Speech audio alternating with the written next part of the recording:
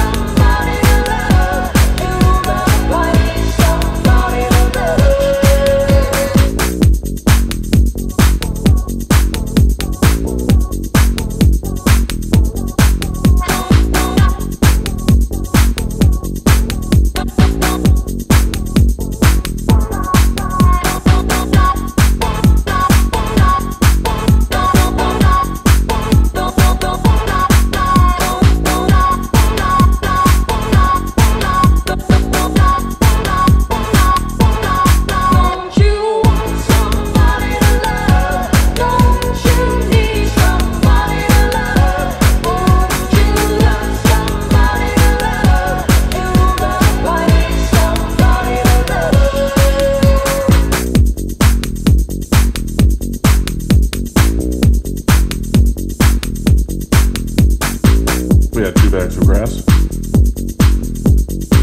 75 pellets of mescaline, five sheets of high power blotter acid, a salt shaker half full of cocaine, a whole galaxy of multicolored uppers, downers, screamers, laughers, also a quarter tequila, quarter rum, case of beer, pint of raw ether, and two dozen amyls.